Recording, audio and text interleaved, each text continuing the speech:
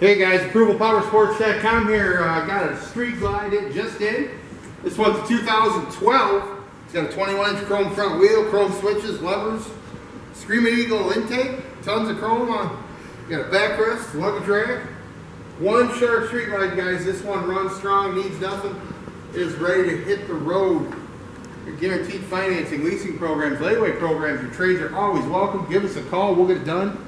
810 648 9500.